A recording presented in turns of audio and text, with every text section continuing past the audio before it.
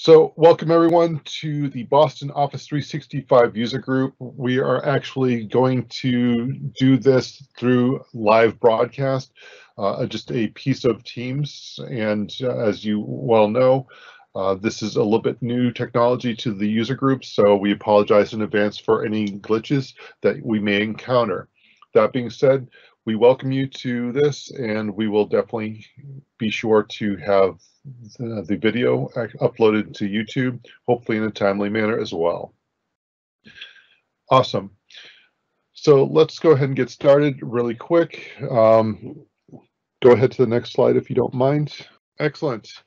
So for all of you, we uh, um, uh, we the uh, organizers are here on your behalf to try try to bring to you um, some of the most exciting content as well as some of the most interesting content uh, that, that we can. We're actually thinking about start uh, starting to use uh, Microsoft Forms to actually survey in different topics and areas and things like that. So kind of being a look on the lookout for that as well.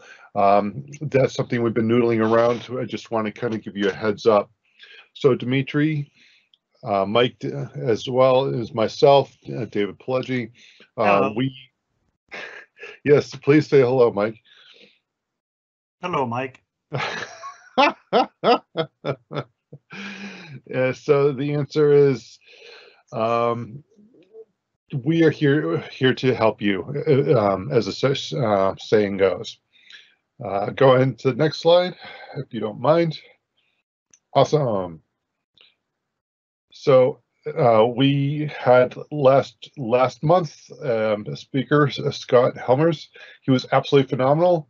Um, of course, in true Microsoft fashion, uh, they happened to make some changes to kill his demo, but that being said, he was still able to show us some pretty awesome stuff around design and Visio and execute and Power Automate. It was pretty amazing. I, I loved a lot of it and definitely uh, had a lot to take uh, that is going to be uploaded. If it's not on YouTube right now, it's going to be within the next week. Apologize for any inconvenience that might have caused. All right, next slide. So I'm going to hand it over to Mike, and uh, Mike is going to go ahead and show, uh, talk about updates. Hey guys, so lots going on in the uh, world of Microsoft per usual. Um, just for uh, any of you that are new, uh, Microsoft tends to push out at a rate of about 200 updates per month. So what we're going to be talking about is by no means all inclusive, but rather just the top couple of uh, updates that we've seen that uh, we thought you may find interesting. So the first of those is a new SharePoint start page. And no, this is not redundant. There is, this is yet another change to the SharePoint page. I swear to you, this is new. Um, there's a uh, screenshot that is in, included here. Um, looks to me like the biggest, the most significant change is there's no longer kind of that quick launch sort of layout going down all the way down the left hand side. Instead, we have full screen width columns of news and sites. So we can view more news and more sites at a time. And then our featured links, recent documents, and saved for later items are all actually listed at the bottom. Um, one of the interesting things that I noticed on this um, when I was uh, actually grabbing the screenshots and checking to see if this was rolled out to my tenant is uh, the recent documents now will actually display documents that aren't necessarily in that tenant. So it was showing documents that I was working on, actually, namely, it showed me this deck, and this deck lives in the Boston Boss 365 tenant, which is separate from my Wellington Street Consulting tenant, which is what I was looking at when I saw that. So this recent documents list had had basically anything that was connected to, I guess it's anything that's connected to your OneDrive.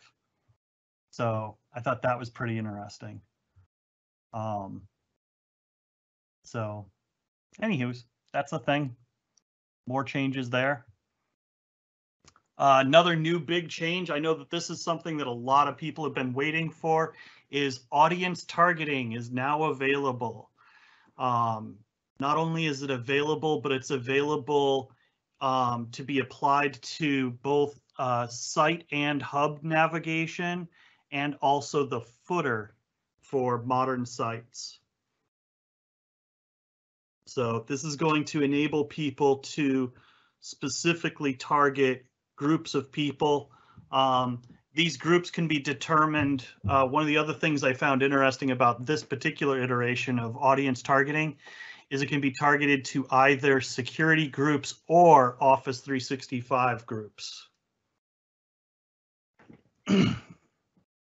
so I know that's going to be a very welcome addition for a lot of people. And then another big one is there now custom customizations are now available for modern search results. So for those of you that used to customize uh, classic search results, uh, uh, myself amongst those people, um, we have not been able to do any customizations to the to the modern pages and have actually had to refer people back to classics for anything that's custom. That is now changed. Um, there's a blog post that was actually written by uh, Bill, Bill Baer. I've got that linked down below. There's also a YouTube video, which I have linked to in this slide um, that they did on this component. And I also included a real quick how to do it. It's actually really simple to do. Um, far easier than it used to be because they're just taking advantage of the uh, SharePoint Online's patterns and practices parts. So you just create a page using those parts, and then you go into the site collection admin, go to search settings, and send your uh, custom, send your queries to a custom results page. So uh, actually pretty straightforward stuff there. Uh, if you guys, by the way, guys, if you guys have any questions about this, there is a Q&A capability in there. I know you can't just uh, shout things out at me, but uh, there is a Q&A in there. And if you guys uh, put something in there, then uh, David will stop me and uh, read that aloud for us. So by all means, put in your questions, comments about any of these updates. Uh, the last thing that I wanted to say about the search results, though, is this is rolling out as a part of the Microsoft search rollout. And the easiest way to tell if you have Microsoft search is when your search bar moves up into the suite bar. That's the very top bar in Office 365 that actually has the waffle icon on the far left side. And is hopefully branded to your tenant because that's cool. All right next update. So this one, I honestly wasn't sure to make of this one, but I wanted, I definitely wanted to uh, make sure that I relayed it to everybody. Um, I found this in the uh, in the admin portal. Uh, it it looks like it's Microsoft just kind of tweaking some of the things that they're monitoring. Uh, I believe that this is happening due to uh, load balancing issues that are brought on by the number of people that are working from home, which has dramatically increased load um, for their systems. So some of the changes that they're making here are how often they check for people's presence, um, what interval they show when other people are typing, and also video resolution.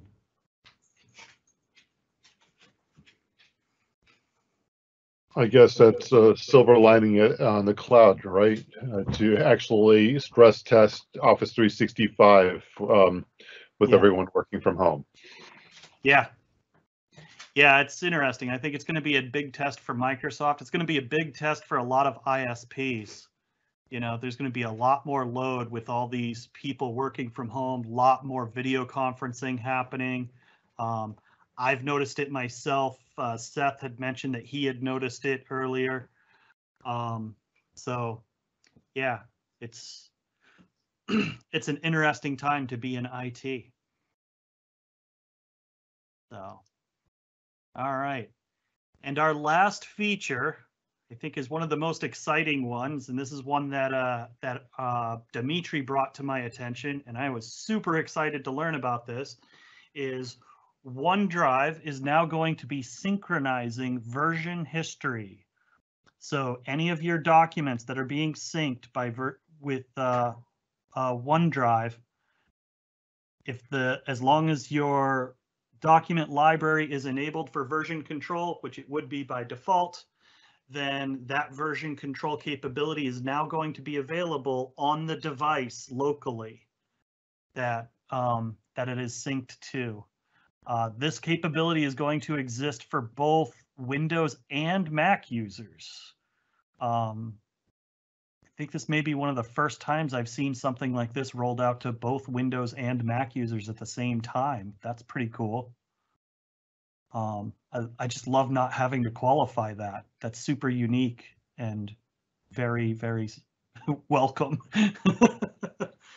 um, so this capability is going to be rolled out in mid-March. Uh, I checked for this as soon as I learned about it, and I do not have it. My my tenant is set for uh, targeted release, and uh, hasn't hit mine yet. So should be any time now. They expect that it's going to be completed by the end of uh, by the end of March. So I guess that's going to be moving pretty quick. And uh, that's it for updates. Do we have any questions on any of those updates? Before we move on to the next I'm- slide? Currently looking at the Q and A and most everyone was uh, just um, basically crying about the fact that uh, there's no virtual pizza um, in the lobby. But That that is deeply upsetting. Um, however, Microsoft has not made that feature available to us yet. But you know, as soon as they do, we will jump on that. There's always Uber Eats. What's that? There- There's always Uber Eats. Uber Eats. That's right. True enough. That's right. Get your own damn pizza. That's funny. Uh, I, I think I think Uber Eats should be paying us uh, for uh, broadcasting this. Uh, that that's, That's free right. publicity right there. That's Can't right. be having that. But instead of this being brought to you by Uber Eats, we are actually brought to you by TrnDigital. So thank you, TrnDigital, for your support for this month's session. Um, and while while that did not involve pizza, it does still involve a lot of overhead and a lot of uh, work that goes into uh, keeping these sessions up and running. So we do appreciate that.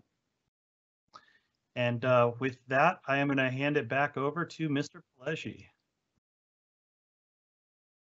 Awesome.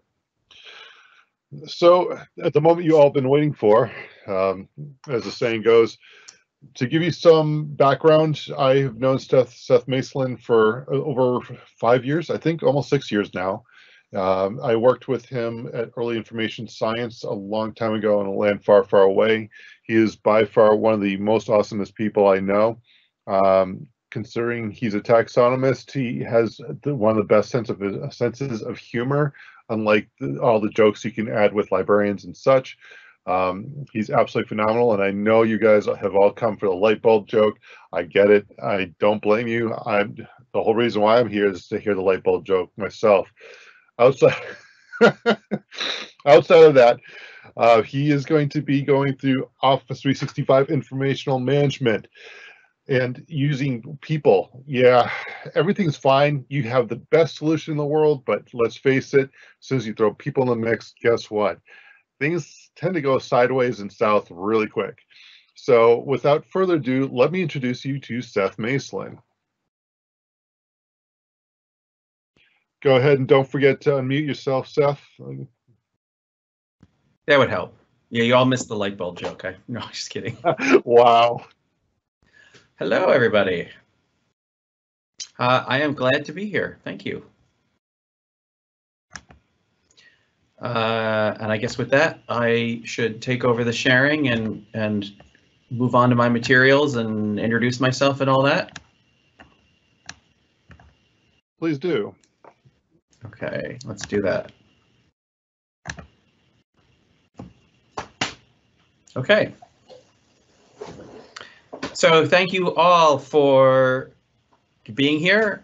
Uh, I appreciate the the the challenges of having to do this from home. You know, you might not be used to it.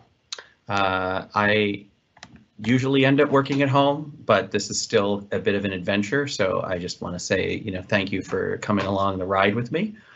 Uh, I did. I presented uh, with the O365 friends a couple of years ago, uh, which was kind of my introduction to this group, and um, kind of stepped away for a little while, and I decided to come back. It's been too long, so thank you.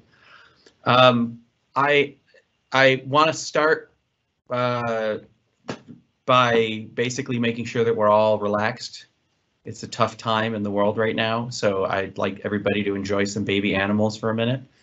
Um, this is just a reminder that nature is still a good place, and there's a lot of good stuff about it, uh, even as uh, we're stuck inside. Um, but what I what I really want to do is is uh, uh, tell you a little bit about what I'm going to talk about, and I'm going to leave some time for questions and so forth as we go forward. Um, so who I am, uh, I've got a LinkedIn profile that's probably got more information than I felt like putting onto the slide. Uh, basically, I specialize in data and information governance, which includes things like taxonomy and data modeling, um, but also the human side of it. So you can design a great solution and a wonderful taxonomy, and people still have to tag and still have to design in a way that uses it and you know have to comply to the guidelines and so that's really where I think of the smackdown of this presentation is coming in. Um, it is that challenge of knowing it works on paper but not necessarily knowing it works in real life and finding a way where they where they meet. Um, I've been an independent consultant for a, you know uh, uh, not that long. Uh, I was with Earley Information Science not that long ago. It's where I met David. Uh, I left there last year, but continue to work with them as a consultant. In fact, I'm working on projects with them, and the case study that I'm presenting here comes from some of that work. So it is sort of a shout out to Earley information science um, and the work that that they did that I'm able to present this. So I've been around for a while. I did throw in there that I'm a, a barbershop singer. It's very difficult to do barbershop uh, over Skype and uh, over Teams. It, it, doesn't work very well. The tuning is a little off. Um, so I'm hoping that I can get back to that as soon as I'm, you know, allowed to get back outside. Uh, if you've got other questions, want to know more about me, I'm, I'm happy to, to, to share. We'll have the Q&A open throughout. Uh, you'll notice that I didn't say anything about SharePoint in my introduction because I don't think of myself as a SharePoint guy. I think of myself as on the information and the data side. So I kind of think of like this, you think of the the governance know-how is kind of you know where I am, uh, and I think of you guys as coming in from the O365 side, uh, and my challenge is to come up with a presentation where they overlap. Um, my uh, disclaimer up front is that I don't claim to know a whole lot about O365. I know a little bit, specifically around the spaces where we're looking at making the governance work, the taxonomy and the term store and the schemas and the models and some of the search. Uh, but for the most part, I would not be surprised, as I as I never am when I work with you guys uh, here, is that there's a lot about SharePoint that I know nothing about, and I don't pretend to know a whole lot about. So uh, I am a little intimidated. I am a little nervous. Um, so what I'm hoping really is that you guys keep me honest. So if there's a question or something that I say that needs refinement or I'm not saying it in a way that sort of appear, appeals to all you guys, um, let me know. And I also invite some of the other folks here to jump in and help me clarify if I kind of step in it.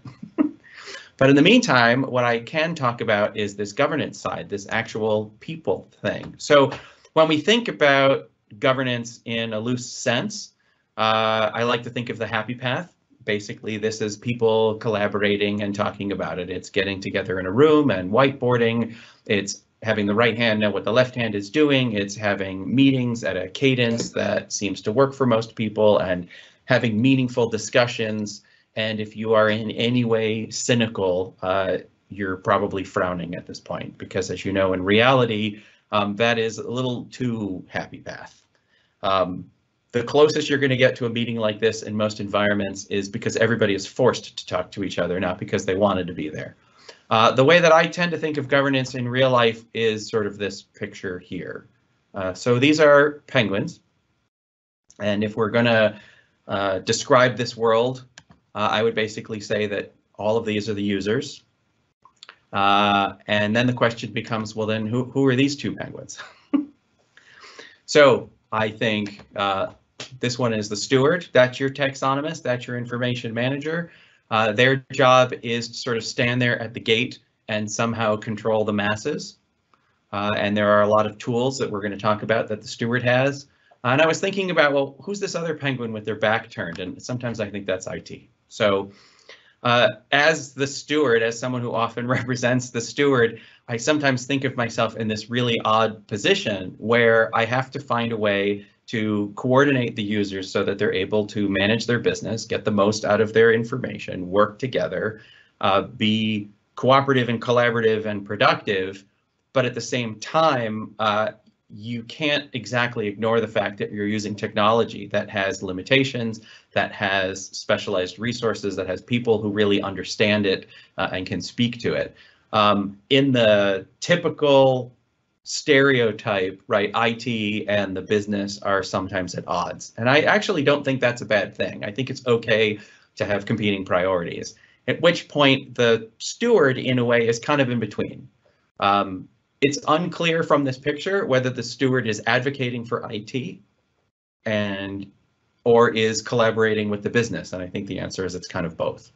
Um, so when I think of governance from this situation, this is kind of what I want to talk about. So we know that there is a series of restrictions and features both that are provided in the O365 environment, but we recognize that there are a lot of users who have to find a way to do this. And so this particular story uh, is interesting because it's really trying to, sorry, actual people, uh, where where we're actually trying to work on here is finding a way to get people who don't normally work together or who are trying to work together in an environment that may or may not be getting in their way. Uh, and so this is a particularly interesting story. Um, so what I'm hoping is that as you go through this and you think about your own situations, you think about some of your own challenges, I want to kind of look at this somewhat extreme case uh, in the hopes that some of it resonates with you guys and you think, oh, I get it. Okay, I see how this could work or how it's not working. Um, and so I, I, I, refer to this as a smackdown in three rounds. And basically what we're going to do is we're going to address kind of the three legs of the stool, if you will, uh, in terms of what it's going to take to make this work. And the, the, the three legs really are dealing with the term store, or if you will, the terms, the words, the, the keywords, the taxonomy, uh, the metadata. Uh, and then the second one is really dealing with the modeling. So how are you working with your content types? How are you getting people to work together? Content types being a really foundational piece, as you know, to O365. And as if that isn't enough, one thing that I'm not speaking about here, I don't know enough about it, um, but I understand that the whole concept of the content type hub is on shaky ground these days. Um, that there's concerns about whether or not it will continue in its current form. Uh, if it were to be removed or replaced, I think PNP is one of the things that they've talked about. And just saying PNP makes it sound like I know what I'm talking about. I, I, I don't, but I'm still think in terms of content types. And if even if it's not content types, I think about that sense of when you talk about something, are you talking about the same thing in the same way? And that's really the issue when I think about content types, whether it's in that form or not. And then the last comes into the governance. It's really the change management piece. And so those are the, the, the three rounds. So here's what makes this particular case study a little more intriguing than others. It's one thing to argue about the taxonomy and say, I like these words, but she likes these words, and how are we going to work together? It's the same thing with the content types. But what made this particularly challenging is we're talking about an organization that is essentially a lot of organizations and all of the organizations are independent. So this is not like you have a central power that is running the show and all the business is sort of screaming and banging on the door saying, I don't want to do it this way. I want my thing. You're not letting me do my thing. Or straight out reversing that, where all of the business is just running their own show and the global organization is trying desperately to get them in line and keep things consistent.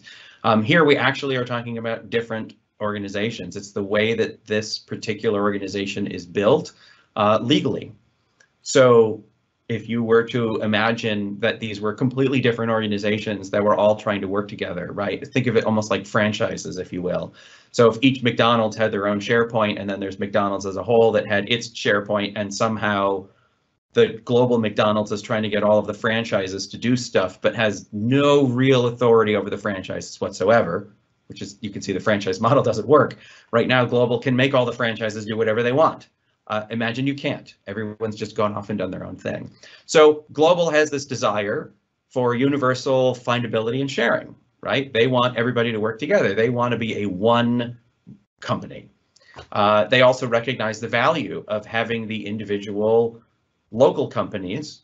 So the US company, the Canada company, the Australian company, I'm just going to use that as sort of the metaphor here. They all want them to work together. We can all learn from each other. So the idea that something could happen in the US that Canada can learn from or vice versa, or that there's opportunities for Canada and the US to work together about something, um, all of that is great and is really important and valuable and everybody agrees at the local as well as the global level. Yeah, that's great.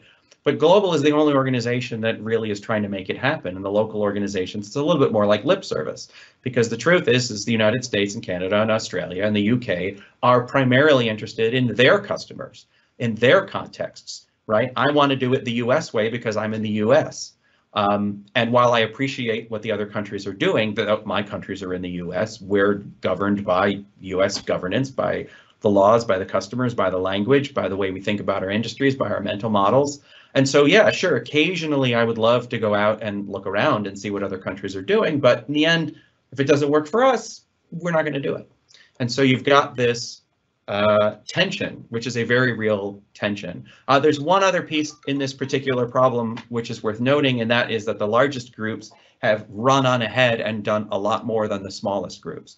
So there's very much a sense of have and have nots. The United States, for example, is more mature, has more resources, has more money, and has been doing things a lot longer for more people and is that much less likely to allow some external force to come in and say, you know what you should be doing, as opposed to smaller countries or new parts of the businesses, right? Brand new franchises that are happy to get any help that they can. They don't have the resources, they don't have the experience, they're starting from scratch. So in a nutshell, right, you've got this global team who wants to maximize capabilities for everybody across all the organizations, but each local team is prioritizing its own business and every local team is different in a really important way. So the question is, how is the global team going to achieve much, let alone anything, if A, it has no authority over the individual teams, and B, any impositions could actually trigger an unwillingness to cooperate. So it isn't enough to say, hey, we'd really like to make a suggestion. You have to say it in such a way that if that suggestion is in any way going to step on somebody's toes, is going to offend them, is going to be bad timing, is going to be too expensive, feels like too much work, feels like I don't you don't understand, you're not listening to me. Um, you could essentially have that local team shut you out completely. Like, I'm sorry, you've lost all credibility, that's the end. So here we are trying to represent this global organization. We are trying to do O365 information management but we're doing it in a very diverse environment where our actual people are going to be a problem if we can't figure out a way to make it work. And so let's look at this. Round one, terminology. Uh, I have, by the way, I, I, have been doing this without having the uh, the Q and A open. If there's Q and A, uh, David or somebody, if there's something that comes up and you want to jump in, by all means, uh, just interrupt and let me know. I will definitely do that for you. Uh, so far, so good. I, I think yeah, you got them captivated. Either that or they are paying the pizza delivery guys who have all shown up at exactly the same time. It seems like pizza should have bandwidth problems too, but I, I've never known them to have bandwidth problems. So here is a bit of a hypothetical. So let's say that our organizations are divided up by countries. We're here, we have country A, B, and C, and they are each trying to manage, in fact, they're already managing vocabularies that are generally referring to the industries. Um, so you'll notice that country A and country B uh, refer to industries already in a slightly different way. I, one of them uses the plural, one of them uses the singular. If you want to really get into best practices over which one is correct, I'm happy to go down that rabbit hole with you. Um, but the truth is, is they both work. Industries and industry, singular, plural, or a sector. Country B is clearly making a distinction between an industry and a sector, something that none of the organ other organizations appears to be doing. They might argue that those are synonyms. Uh, and then they've got their own terms. So take, for example, in country A, you'll notice they have energy as a top level and energy services as something underneath. You can see how that's different depending on who you're talking to. Um, but you are dealing with some key uniquenesses that may not just be a question of each group went off and did it in a vacuum and came up with what they thought was the right idea. Uh, so take, for example, country A has forest products. Nobody else has forest products. Well, there's there's a reason for that. Country A actually cares about forest products. That's a thing for them. And countries B and C don't. So if I go with the analogies, that could be Canada because of a very large, you know, forestry industry and the fact that maybe they do a lot of work in forestry. Uh, in comparison, country C has renewables. Nobody else seems to have renewables, or at least not obviously so. So again, country C has its own needs. This is part of the existing problem. The idea that I'm going to combine all of it and create one giant list is all well and good. But what are you going to do with forest products? Does everybody have to have forest products showing up? And if so, and they don't care about it, how do they turn it off? Or how is, isn't that annoying? And keep in mind that we're not talking about three countries. We're talking about, you know, with these local organizations, you could have 10, you could have 20, you could have 50. And if everybody has their uniquenesses and they all get shoved together, you've got one heck of a taxonomy problem. Now, to be clear, this kind of taxonomy problem is typical. If you've ever been in an organization where you're trying to get the silos to work together, you're going to have these kinds of struggles. How do you take tree, you know, the tree from one country and combine it with the tree from another one? And do the words even mean the same thing? Um, so this is to some extent typical, but just remember underneath, any change you attempt to make is going to be a significant imposition from an outsider, not an insider. Um, there are some other challenges, like I said, there's industry versus sector. Uh, there's the way things have been organized together. So you have mining shows up uh, for everybody, but country C says mining and natural resources. Natural resources for country B is at the top level, but somehow doesn't appear in any of the subs. So what exactly is a natural resource? You start getting into questions of do they even mean the same thing, let alone should we combine them? Uh, and there's a little comment here. You'll notice that chemicals have been added up at the top level for country C. And as we all know, you have to be very careful when you mix chemicals. So we need to be careful about trying to combine these. And just to be clear, right, this is one area of conflict, right? So other areas that might be familiar to you, take for example, uh, just in industries alone, you know, the role of government. So if we really are working with countries here, recognize like how, where does healthcare go? Well, it depends. Is healthcare a government function or is it not a government function? So things like healthcare, utilities, transportation, logistics, education, these may or may not be public functions. So even if you wanted to combine them together, it could be really difficult because those combinations could just be straight out wrong for the contexts that you're in. And again, I'm just using this as an example where we're looking at industries. So the types of challenges that you're looking at with just this list, and keep in mind then there's, you know, what services do you provide, what brands do you manage, what products do you sell, what kinds of roles do you have in the organization, how do you describe your customers, how do you describe your customer environments, every single one of these, how do you manage it? How do you get people working together? And so in this particular situation, what's happening is that all of these organizations who have been building their own SharePoints are now being asked, hey, O365, let's share. Now we could, in theory, put everybody's lists into their own space inside O365 and have everybody continue to work for the most part independently. There are going to be some serious governance challenges if you do that. How do you manage the permissions of who can do what?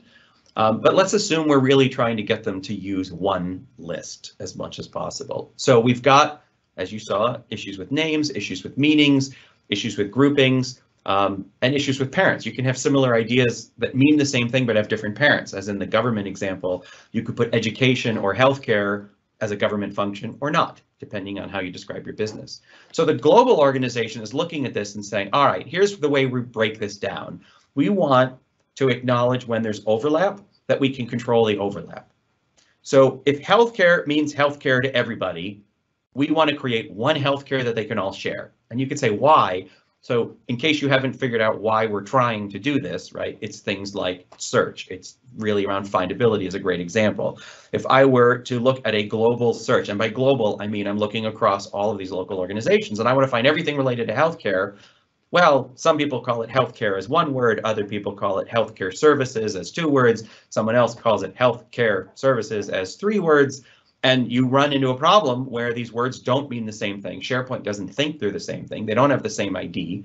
Uh, and so they don't combine. They don't sort correctly. And if you've ever been in a situation where you've seen things, you know, bucketed where the buckets all look the same, but the content underneath each bucket is different, you know what I'm talking about. So how do we deal with the overlap? So can we all agree on healthcare? Can we all agree on what we mean when we say oil and gas? Well, what about coal? Okay, oil and gas and coal. Well, we don't do coal. Okay, so it's oil and gas. And so you're fighting over this. So that's where you deal with this sort of non-overlap freedom. So only one country has forestry. I don't want forestry to go in everybody's list. I don't want them to tag with forestry. We own it. We're doing our own thing, but we don't want to block it. So we don't want to say, hey, 80% of the people don't talk about forestry, so we're not going to include it, is a really dangerous choice. So how do we enable the uniqueness that's necessary so that people can customize their results. And then the, the other way we thought about it, I'm sort of here put it in quotes, is, is skins. So when there's local variation, how do we manage that? So think of this in the case of sorting. So if I want to sort alphabetically and everybody else wants to sort alphabetically, that's fantastic. But if nobody wants to sort alphabetically, they want to put what they consider to be the most valuable stuff at the top, then how do we do that? How do we create a system where everybody can create their local variations?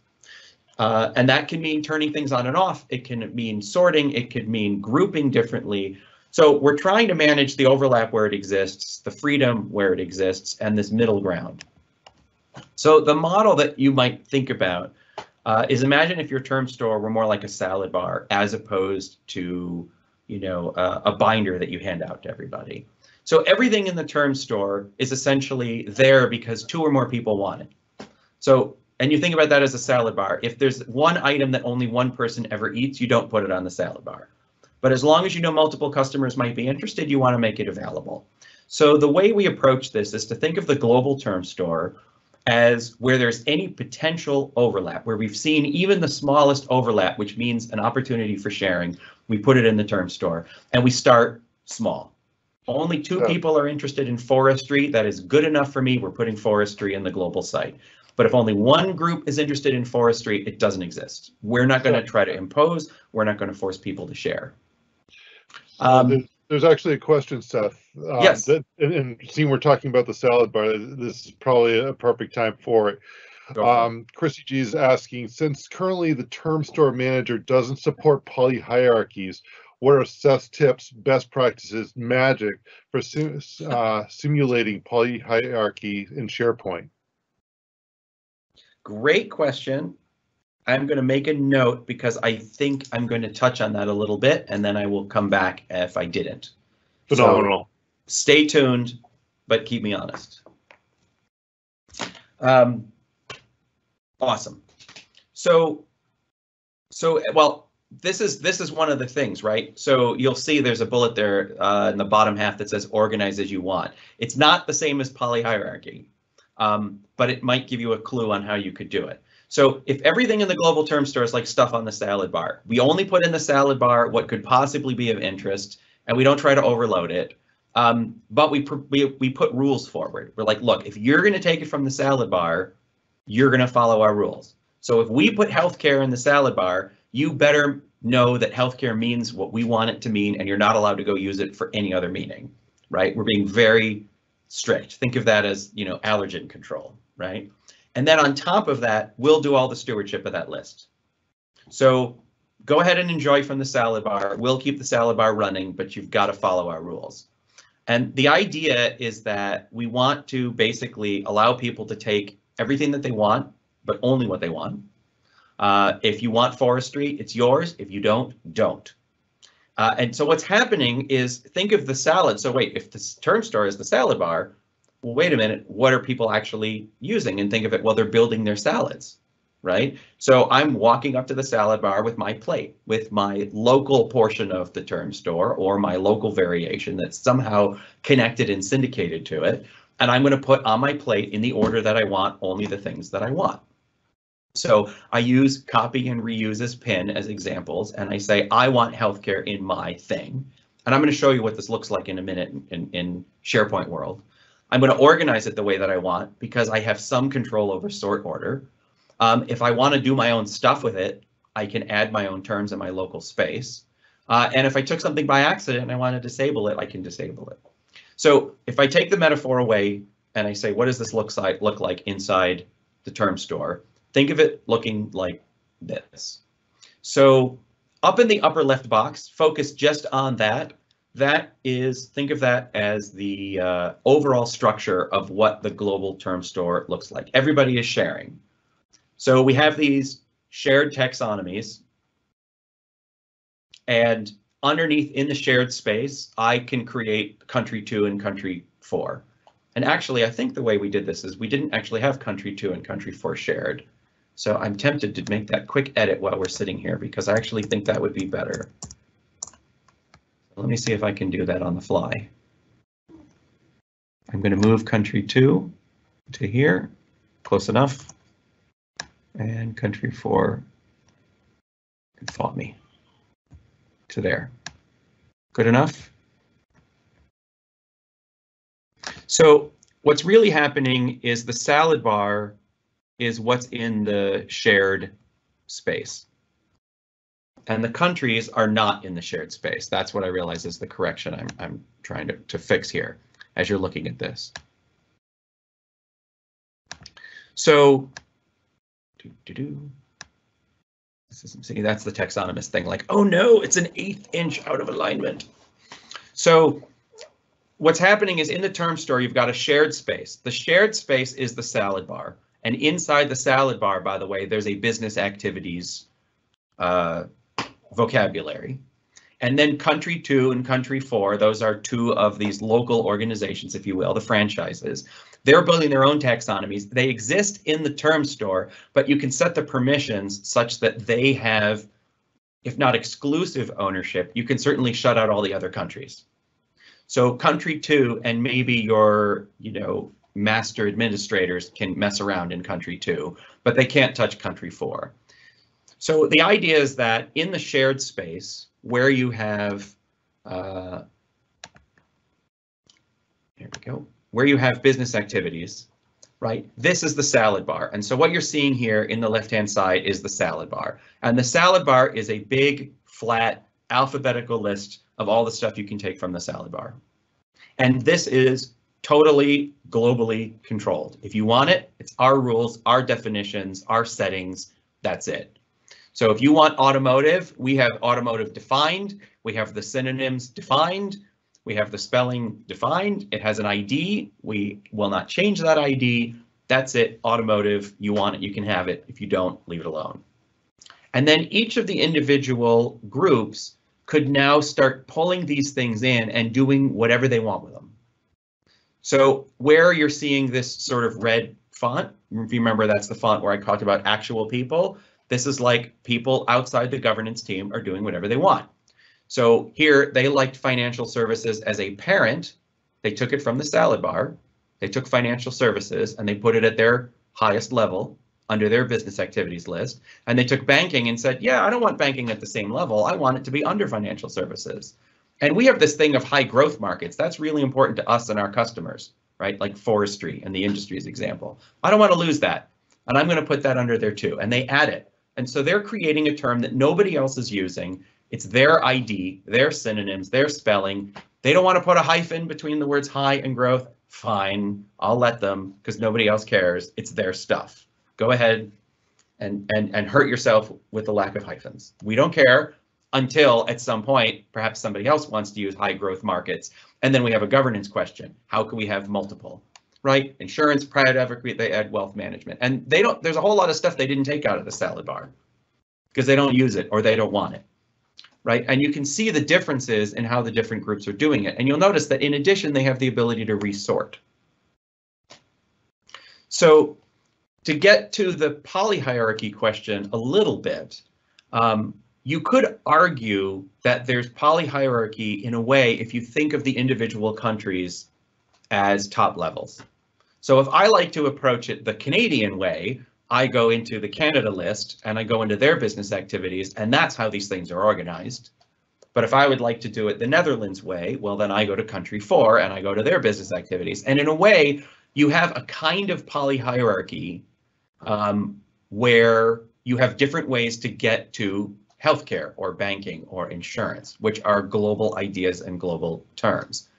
Now, if country two wanted to have banking in a few of its different settings, so maybe they like putting banking under financial services, but maybe they also like putting it somewhere else, they can do that. They can take two salads from the salad bar and put banking on both of them. And as long as it is tied back to the global, it will have the same ID, it will have the same definition, and should somebody do a search for banking, should somebody want to tag something as being related to banking, it's consistent because they took it from the same single source of truth, the same salad bar that is the shared taxonomy at the top. Now, I will say that how you design your navigation and how you design your term store don't have to go one to one. There are ways in which you can fudge that.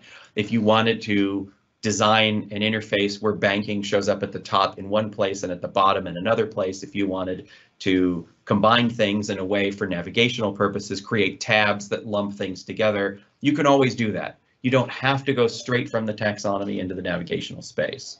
Um, if, however, you are only creating navigation based on the term store, then one way in which you do that is you create multiple lists of terms in different places within your space and point to that particular list with its idiosyncrasies, um, and that becomes your navigation, keeping in mind that the terms at least have a consistent meaning because you've taken it from the original single source of truth.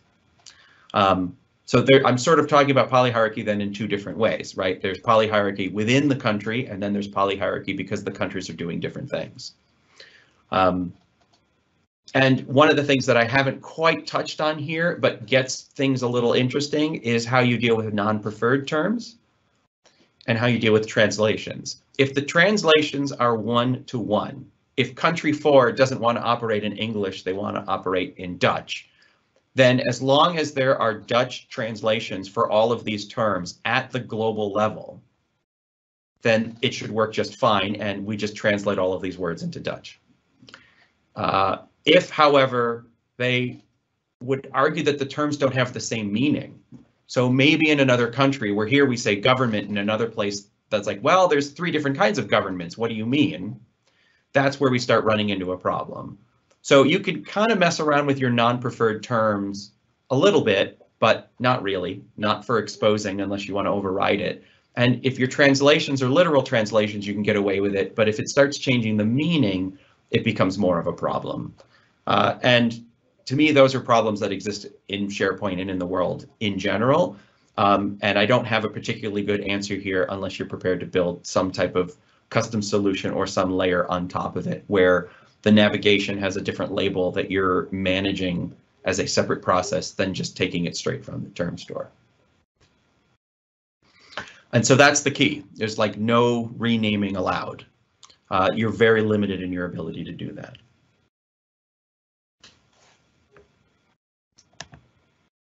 Um, and one thing that I just want to point out, there's kind of this little comment down in the bottom, like not shown the 45 terms these countries didn't want to use this is where the management of this gets sort of interesting.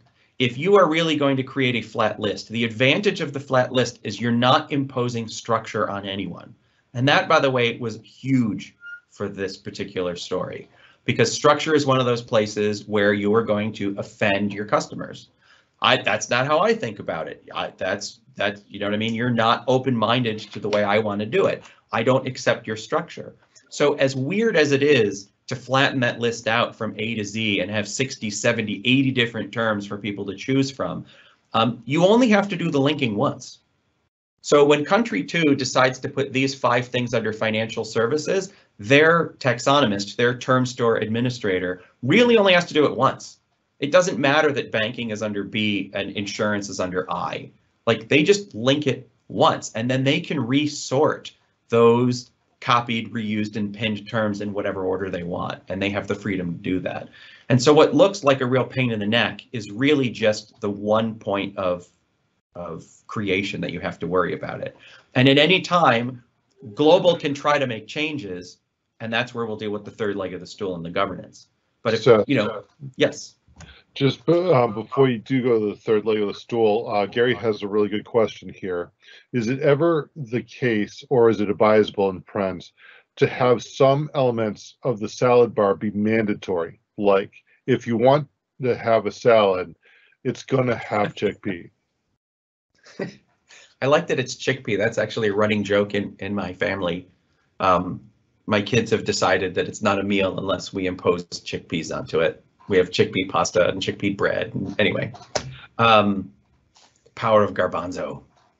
So you could impose on it, but the problem is, is you don't have a good mechanism for that imposition in this case. So you kind of do and you kind of don't.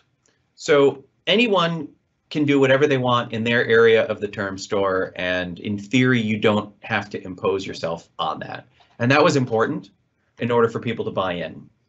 Um, on the other hand, you own the term store, so you could always somebody doesn't put a hyphen in high growth, and you could just go in there and say, "I'm going to put a hyphen in there," and you have to be very careful doing that, right? Because you don't want to offend them. So ideally, you could talk to them and say, I have an editorial suggestion. I would really like this to be this way, and here's why. And they could agree or disagree and then work together. And it's nice if you can, you know, get everybody together working in that fashion. Um, but I think in terms of the imposition, just because it's in there doesn't mean they're actually going to use it. They have to build a uh, they have to build some sort of site based on it, right? Just because it's in the term store doesn't mean they ever have to actually build a page that uses what's in the term store. If that makes sense. Um, so we want to impose, but I think we felt that we couldn't in this particular situation. I, I do think there are mechanisms for imposition if that's really what you wanted to. I think in this case it was a little dangerous. Terrific, thank you. So here's kind of how it looked, right? The SharePoint Online had a single term store that everybody had to use. It had one tenant, it had to work globally. For security, uh, so for security boundaries, we used groups. So that's where we had, for example, global shared versus country one, country two. Uh, the shared term sets and the terms reflect the consistent organizing principles. So there's got to be total agreement at the highest level. Anything that you don't share, do whatever you want in your own space, stay out. Uh, naming conventions are as heavily enforced as they can be. We try to enforce that, but you know it, it doesn't always work. Again, we tried to help organizations feel that they had as much freedom as possible. Um, we enforced description and other labels fields inside the term store. They were fully used. We put in the definitions. If the definition didn't match, too bad, because you copied the term, you get the definition. We didn't have you really overriding it. You didn't have permissions. Um, so that's what's going to be there if you roll over it. So there it is, and therefore it's enforced.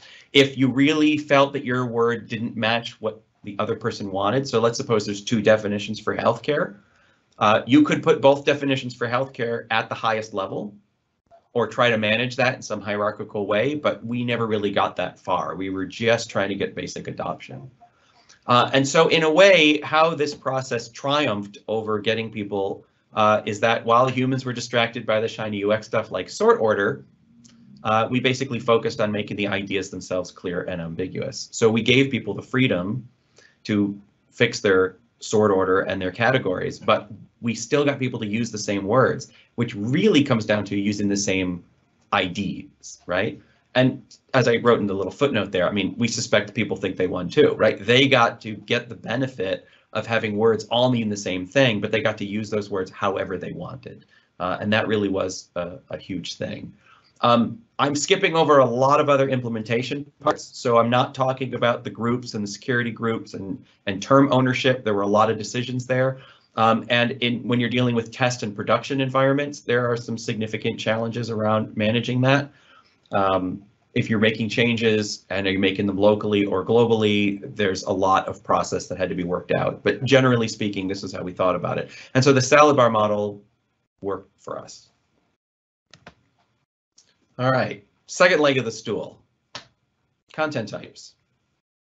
So the challenges you have with content types are it's not just that you have the different names for things as like the taxonomy, but you've got different meanings, different intentions, different tagging requirements. So it's all well and good for me globally to say, I know what an invoice is. Here's an invoice. Everybody has to obey me for invoice. Well, that just doesn't work for people. And the reason it doesn't work is everybody's got a different way of managing their invoices. They want to be tagged differently. They want to have workflow differently. They have different requirements for compliance and how long they save an invoice. And all of that is a real problem because content types are so fundamental to day-to-day and real-time operations that how do you impose a single content type on anybody?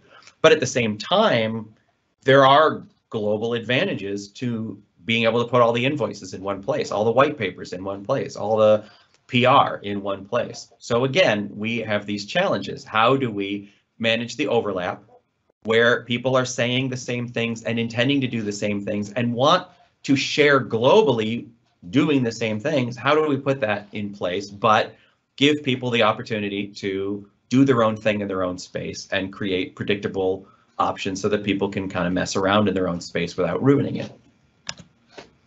So the way we approached this was around, think of it as there's sort of three layers in terms of your metadata columns. There's the common metadata, which this gets enforced. So going back to Gary's question earlier, can you enforce this? This was a place that you could enforce it. So we needed situations where, as a global organization, if there is a best practice, we needed that best practice in place. So we really, really, really want every document to have a title. Can we agree on that? We really, really, really want every document to have an owner. Go ahead and put whatever garbage you want in the owner field, but we're going to make you have an owner. So that way there's some accountability, some way to work globally. Maybe expiration. Everything has to have an expiration date, even if you decide that your expiration date is infinity. But at least it's in there. It's a place to start, right? Then there's the unique metadata. The unique metadata is also global, but it's not every single document, all content types. So maybe expiration date and title and owner is true for everything, but when we're looking at you know other situations, maybe we need a comments field, but only for certain types of things. Maybe we need uh, a security constraint on certain things. Maybe we want to have customer names attached for certain things, but not everything. So think of that as the unique. And then there's the specialized metadata, where you're down to a single content type and there's something funny that goes on at that level, you want metadata for that as well. And the question became, as you think about all types, some types, one type, where in that spectrum does global let go and let local take over? And so the the challenge became, you know, how do we sort of organize that? So some of the questions we looked at is we look at what are the out of the box columns. I just want to make a comment. SharePoint has its own types, right? Document, item, and we needed to be clear. We already found differences that when it came down to how people were using the fields uh, for these types, they were already confused. So if you have a field called comments, people used comments for anything because that's what it's for. It's for anything. So we said, you know what, we need to be really careful about how we enforce comments because if the comments are say for reviewer feedback, that's a much better title. Because remember, when you bring everything together globally, comments becomes a giant pile of garbage because this group uses comments this way and that group uses comments that way. I can't use comments. Comments are terrible. So even though it's a global field, it's a global pile of garbage. So can we create better labels and intents for anything that we really want force people to use. And one of the challenges that I have faced with, that I struggle with around SharePoint, is you can have a title field and a name field, and everybody thinks those mean a little slightly different things in practice. What's the difference between the title and the name? I've seen many situations where they think the name is somehow the file name. So it should have a .pptx at the end of it because that's what the name is, but the title can be anything I want, my presentation. Other people think, no, the title and the name, they mean the same thing, and they copy paste the values from one into the other. Other people say, well, as long as it has a name, title is optional. No, wait, its title is mandatory and name is optional. Is it name automatic? And so even at that level, we start running into challenges. So we wanted to make sure that when we created those fields, that we didn't just take it out of the box and say title, everybody gets that. We wanted to be even more particular. Uh, and so when there's any difference, we would create a new column and try to make the other one go away or be optional. Um, and when we were dealing with links, we were using IDs because when you're dealing with lots of organizations that have their own structures and move things around all the time, IDs tended to be more stable. Seth, there's Yes. another, there's another um, question. So uh, it's Chrissy G. Thanks, Seth, for addressing the poly hierarchy challenge. That was good with the case example. Did you factor any review of the taxonomy, i.e. the salad bar, annually or some sort of schedule within the governance? So, great question. Third leg of the stool. I'll bring this up again, but I want to answer this now because I think it's a really great question. Nothing that I'm talking about so far is ever going to exist forever, right? And if it did, that would be bad. So we're not putting anything in stone. So especially when things are getting started, um, you need to be as flexible as possible, which means you need to be open to changing rather frequently. Uh, there were some specific constraints with this project about the speed of governance. Some of it had to do with different organizations working at different speeds. So, you know, organization one might be doing a lot of things every day, every week, every month, but organization two does things at a quarterly level. So knowing that they work at different speeds means you kind of want to have available but impose different expectations around speed, right? An organization that doesn't change very much, having to constantly get change requests because some other organization is insisting on changing all the time, that's kind of painful. So we thought about ideas around batching. So we might change something right away, but make it optional, or we might have local folks make their changes ahead of us so that globally we would then catch up and it wouldn't be a problem. Uh, so there were some interesting challenges there. Uh, if you take it away from this organization and just say how often should you change, ideally you've got a governance team where all the right people are talking to each other and they decide as a team. That's your circle of chairs where people are talking to each other. Uh, that's the happy path. So I'm the global taxonomist and I am managing industries. I've, I'm in charge of the industry salad bar. And meanwhile, the US industry person and the Canada industry person and the Netherlands industry person, uh, we have meetings on a regular basis and we listen to our constituents and we communicate through teams or whatever method we have to post our concerns and changes and wants and needs and we decide when we want to do it. So if the folks in the Netherlands are saying, we're doing this big thing, it's happening in April, I need to have it ready for April. Meanwhile, the US and the Canada are like, I don't see how that affects me and this is terrible timing. We have a coronavirus thing going on here. We're not going to get to this until the summer. Hopefully everybody can get together and make decisions on how to go forward. But I think you're right. Regular reviews are extremely important, but also having frequent and listened to feedback from all of the stakeholders is extremely important. So there's no great answer. Uh, as a best practice, I would say that when you create the salad bar, you have to decide at that moment of creation how often you want to change it over. Today, coronavirus, we're cleaning the salad bar every hour and a half, right? In fact, we're, there is no salad bar. Salad bar's gone. We'll come back with a salad bar some other day. But you know what I mean? Like how often do you do you send somebody to remove the wilted food and clean up the space, right? The same is true with the taxonomy. Healthcare is constantly moving target. Finance, constantly moving target. These industries are moving. So those are terms that you need to be on top of as, as they change. Transportation, eh, not so much is happening over there, right? High-tech computers changes a lot. So how often do you want to meet? How often do you want to manage it? And the speed with which you manage the industry's taxonomy is going to be completely different to the country's taxonomy. Countries are generally not changing fast enough and noticeably enough that I need to jump in there all the time. probably it's completely stable until somebody says it's unstable and then we have to go in and make a fix. So you're going to find that uh, pace for yourself. And I think you need to get your stakeholders together to decide what that is. Um, just to be clear then, there are three sources for staying on top of it. One, set your own pace and follow it. Two, whenever somebody wants a change, decide whether you need to handle it right away or batch it for later. And you'll see that in some of the flowcharts I showed toward the end. Uh, and three, uh, anybody who notices a problem, that problem should be escalated. So as soon as search is a giant mess, you better be on top of it. Hopefully you've noticed before it became a giant mess. Um, but that's the nature of governance and stewardship. So this is where the result came. So imagine on the left-hand side, so I'm, I've chosen to name the, this particular company Acme. Uh, on the left-hand side, you've got the SharePoint content types. This is the stuff out of the box, right? Item and document. And the first thing you do before you bring it into global is you make it Acme specific. So I'm not going to take the SharePoint item. I'm going to create my own item, Acme item.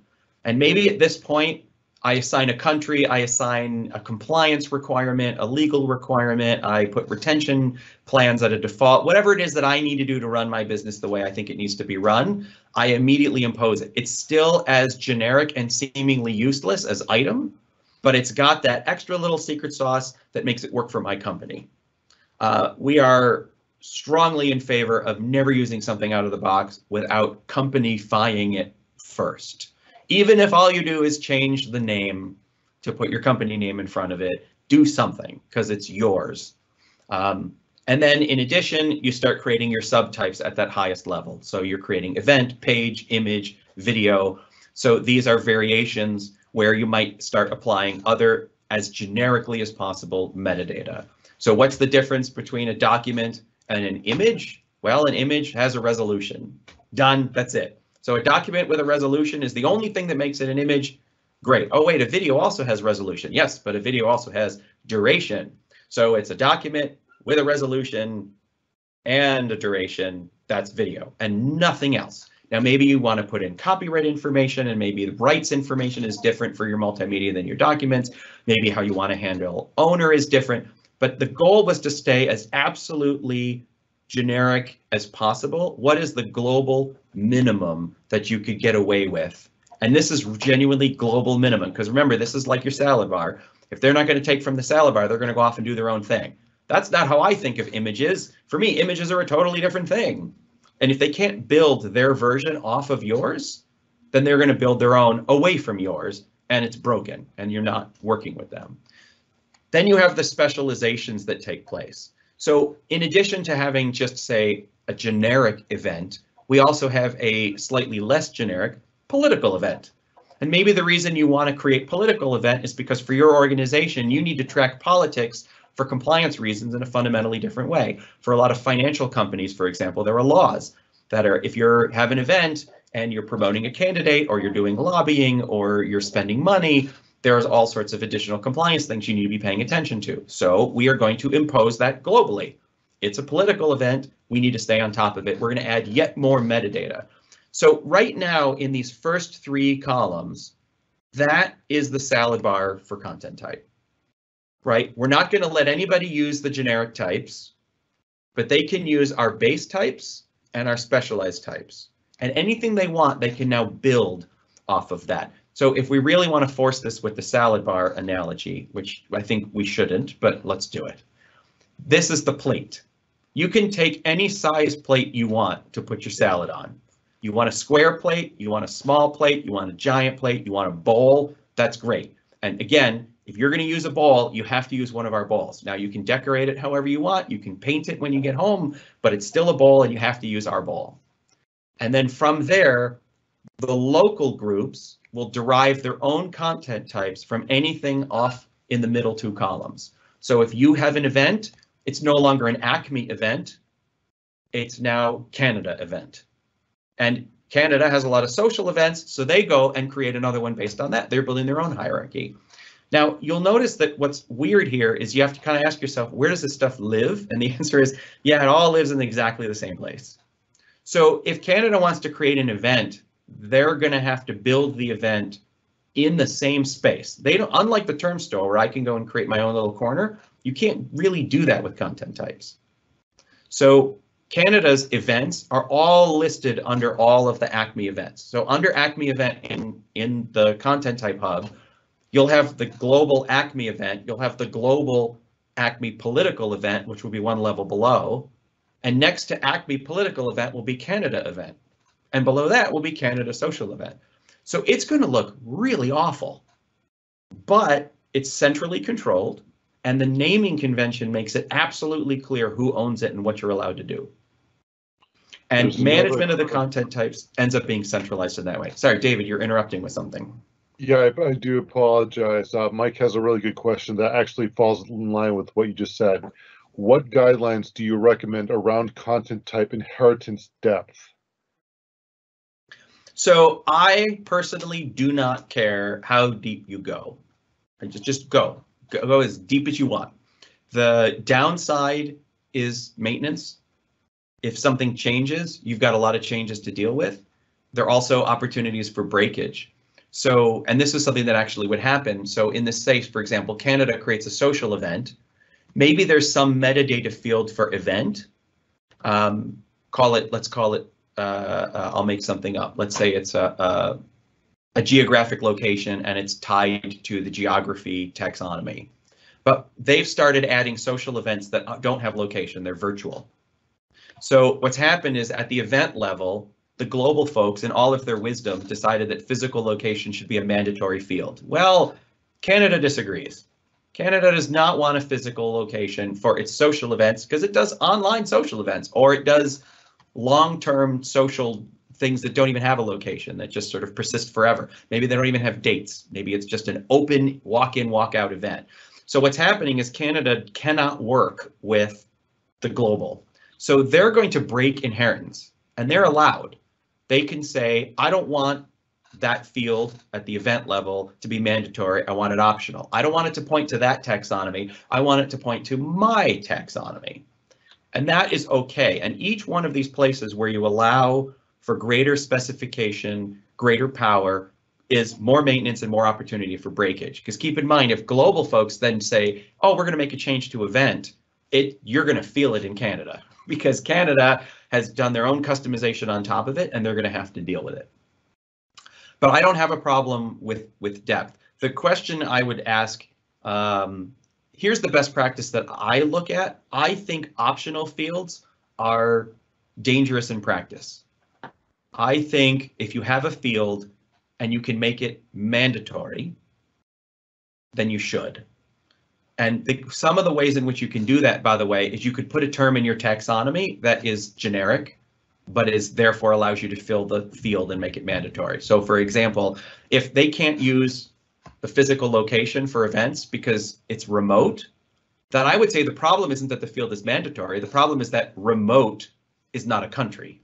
So go back and fix your taxonomy. Add remote or nowhere or everywhere. Like put in some other terms so that they don't have to override the field and make it optional because it doesn't work for them. Keep it mandatory, but give them terms that they can use that will allow them to do it.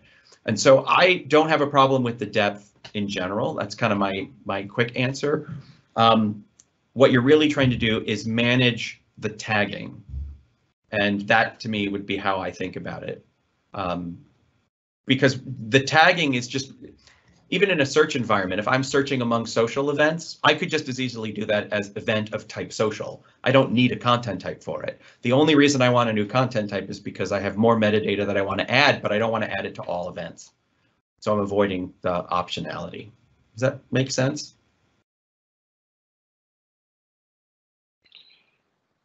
It does to me, and I'm sure sure they'll. Uh, Okay. I'm sure I'm sure it'll actually um, be more questions um, in line, especially if uh, um, if they so desire, so to speak. Fair enough. So let me let me let me finish this section. So the content type hierarchy has these sort of incremental expectations. So global content types are managed globally. They're designed for derivation and inheritance, which then get managed at the lower levels. So you have a document, you have a Canada document, you have a Canada tax document. And what this does is it allows you to attach global fields to global metadata, including whatever compliance and specialization you think you need that you consider a best practice or you're trying to actually impose on the local groups. Ideally, the local groups take the plate from the salad bar and as necessary, increase, not decrease requirements. If they decrease the requirements, they're overriding. If they're adding, they're not. So that's one of the reasons you want the most plain vanilla content types you can get away with. Uh, and there were situations where the local groups wanted to relax the requirements. Oh, we made this globally mandatory. Oh, but that doesn't work for us. Well, remember, we're trying not to offend them. We're trying not to put them in a situation where we force them to do something that they don't want to do so much that they go off and go rogue and build their own thing in their own place. Because as soon as they do that, there is no sharing, there is no proper reporting, there is no global search, right? So we're looking for the tiniest crack in their defenses, saying, come on, you know, just do this, just this one thing. Like all of your documents, please just derive it from our generic vanilla document. That's all we ask. And we would hope that over time, it would grow. And that is sort of the trick. So we established very easy to use, very generic content types, which by the way, I can tell you as a consultant, when you walk in and you talk to all of these people in all of these countries and you're working with them, and then you come up with your answers and your answers are, yeah, you're going to create a document and they're like, really? And just that's it, document? You don't have any other suggestions? That's like, we have a lot of suggestions, but we're just going to give you document. And, and why, why are we paying you all this money to tell us you need document? It's like, because it's the only thing that your customers will accept. But we are going to build in the ability for people to customize on top of it and grow over time as new ideas go to prominence, as the world changes, as opportunities present themselves, we can make changes at the global level. So, oh, this law just passed. Now we have to track our documents in a certain way. You can do that at the global level, and it, you're now, in a way, forcing everybody to accept it. They can override it, but they have to go out of their way to override it. And in many cases, they won't if what you're doing makes sense. So we're imposing the smallest bit possible. Again, we're worried about generic labels like description and comments. They're discouraged. We made sure that in our content types, we were picking better labels like purpose or user notes so that people could use these things consistently. We're essentially pushing those best practices onto people. If they want to go and create a description field because, hey, where did it go? Go for it, add it. But no one else can use it because it's your local piece. What is global can show up in global search and becomes visible. And if your documents look like crap in global search, somebody's going to notice and say, hey, our content looks like crap in global search. Let's fix that. And so there's almost that sort of public shaming type of thing that's going on where, wow, that country really seems to have it together. Why can't we do that? So we believed that just by getting people onto the same platform, by forcing them to talk to each other, that this would slowly grow. And that's really the key. By starting small and generic, we were able to get quick adoption, or at least more adoption than we had. Organizations that were more sophisticated could make more and more customizations. But remember, there were these groups that had no resources. So everything we gave them, they were happy to get. And they were actually some of the first adopters. So we're out to the last leg of the stool, and that is behavior. So content types, metadata, term store, that's great on paper. Uh, now what? So remember, this is our this is our world, right? So we're doing our best to say, please, ma'am, please, sir, we've done the smallest amount that we can do. We're doing our best. If you really need something, let us know. It goes into the queue. And the question really is that can you sustain this? Um, does this really work? Because at some point you could have a mob of users, right? You have some folks who would just have to go off and go do their own thing. So when we think about how we shape governance, what you're really balancing in governance, and everybody has read this and seen this in a million places, right? You're essentially balancing centralized control and federated management. You're basically saying, hey, we're global and we know what we're doing and we're in charge and you have to follow our rules at all times, centralized control. And then you've got the federated management. Hey, we're specialists. We're actually working with the customers. We're the ones actually trying to get things done all those rules are obnoxious. We know what we need. We're going to do this ourselves and don't step on our toes and get in our way because let's be honest, we're the ones making the money, not you. And this is a good and natural conflict. And it is one of the challenges with any organization succeeding and growing. And the balance is precarious and it is seriously uncomfortable, especially when you're doing this for the first time. threatens the status quo, interferes with longstanding beliefs and behaviors. Uh, it, it introduces people with competing priority. So you bring somebody in and they have a whole new idea and a whole history and a whole thing, and it's really hard to make it work. So when we think about how we design governance, what you ask yourself, what drives change? Uh, there's really a few things. There's the post-disaster lesson learned. Oh crap, this was a mess. We can never let this happen again. And everybody jumps onto the centralized control. Or you have a near miss crisis that's somehow been averted. You can have outside forces. Oh, there's a new financial law. Oh, the coronavirus is going to change how we do things. How will we want to deal with that? You have the inspired leader who read something in a magazine and says, you know what we're going to do. And then boom, suddenly you have the centralized control. Uh, and then what I think of as sort of the last idea is because SharePoint made me. Uh, that was actually the story we had. Uh, there was a need to go to SharePoint Online and stop everybody from having their own tenant. And oh crap, now we all have to to work together. We all found ourselves on the island and we're trying not to vote each other off. So the way we approached it was really to look at the smallest piece of governance we could start with, the seed um, that we could plant, right? So centralized control was unwanted. Nobody wanted it. It was to some extent necessary, and people could understand why somebody else might want it, but it was really hard to accept. Um, and so it was a real disruption. And so the reason is when you looked at the part of that said everybody can buy into at least this, it is flat and boring and basic. And so our global IA was essentially the smallest possible piece of the total design but it was the part everybody was doing anyway, so what harm is it? Everybody had documents. How hard is that? Documents. Believe it or not, people would push back. People would say, I don't want an expiration date. I don't want an owner. Some of our documents don't have owners. Re really? They don't have owners? Well, we have creators. Well, aren't they the owner? No, they create it and then push it out into the world, and now it's sort of ours. Well, then you're the owner. So it was this interesting challenge where it's like, well, no, it's like the team owns it or the company owns it. And it's not really that we own it, it's just that we created it or it's on our system. So, okay, so now is owner something we ignore or do we fight over it? And this was the sort of process we went through. But the last trick that we had up our sleeve was that we knew that if we could start small enough, it would grow. We knew that if we could get things going, plant the seed, uh, find the crack in the armor that we had the potential to grow.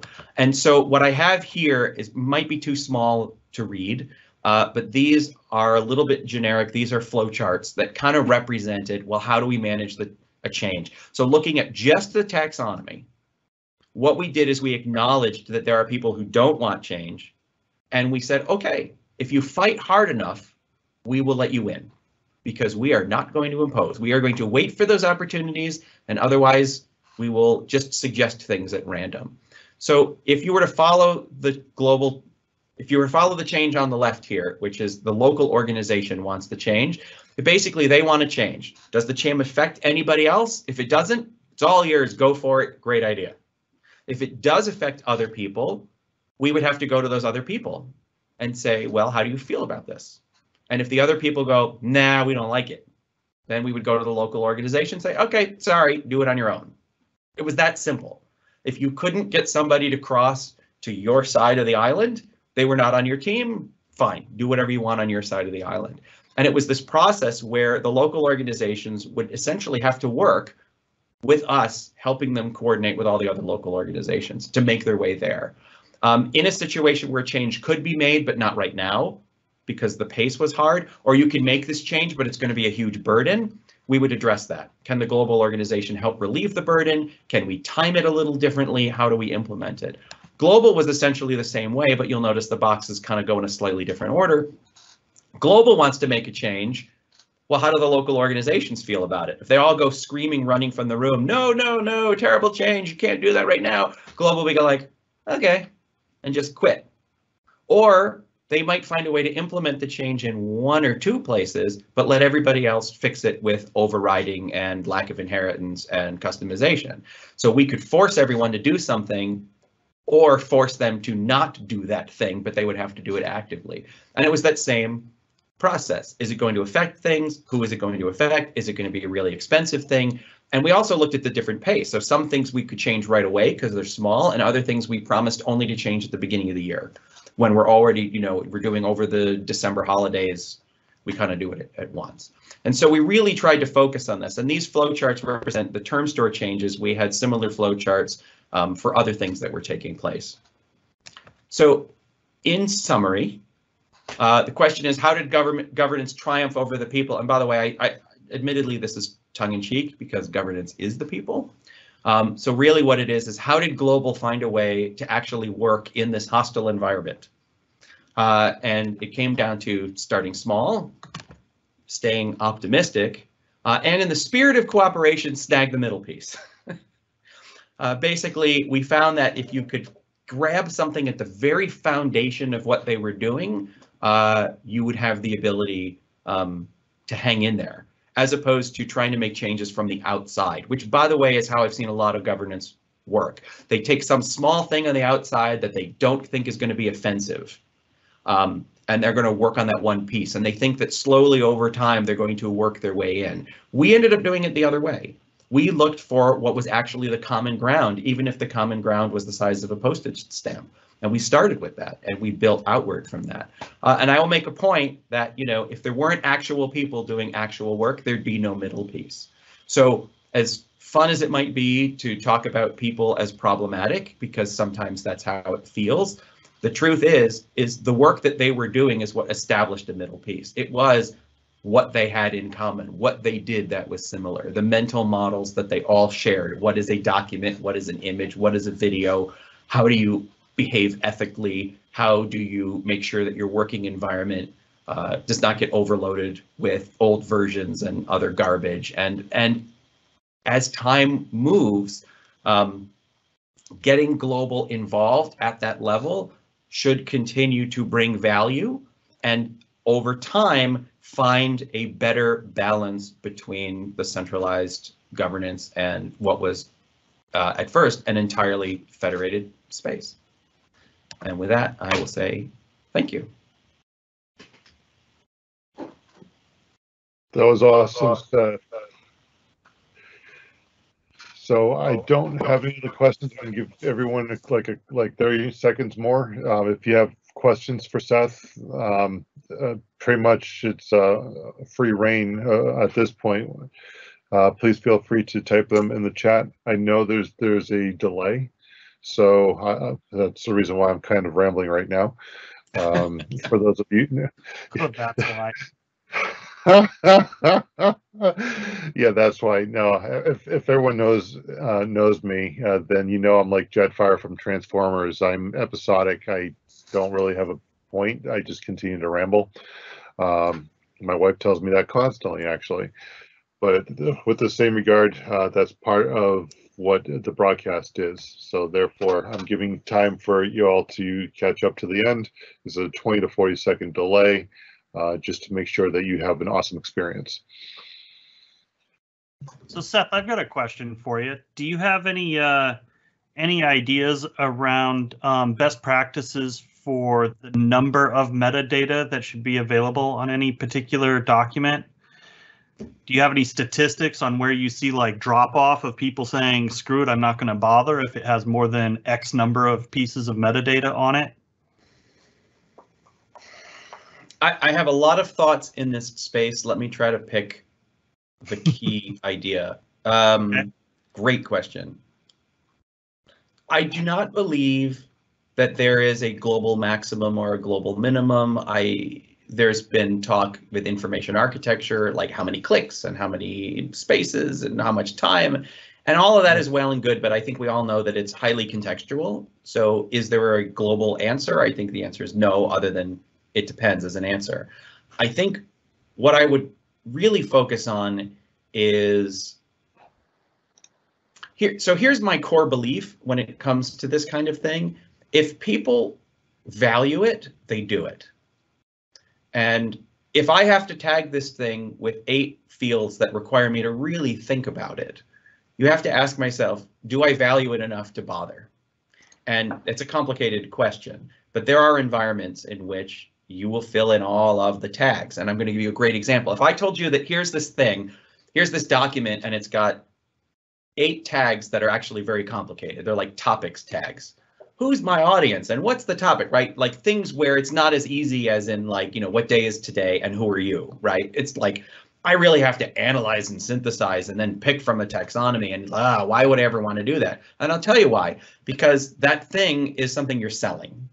And you know that if you tag the crap out of it, it will show up in more search engines in front of more people. And guess what? Those people are more than happy to tag it. And examples of that are, you know, people who sell music or who sell art through databases, right? And it is tagged up the wazoo. And I don't think people are complaining. They just do it. It's just their job. Uh, people who deal with compliance and have to fill in all the tags to do rights management or security controls. I'm not saying that they like tagging as their job, nor do they define themselves as taggers for a living, but they do it and they generally do it without complaining because they see the value and they believe in it.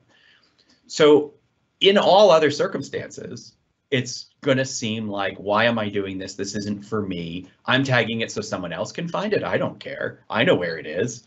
So either you educate them, which only goes so far, or the way I look at it is you find somebody else or something else to do it.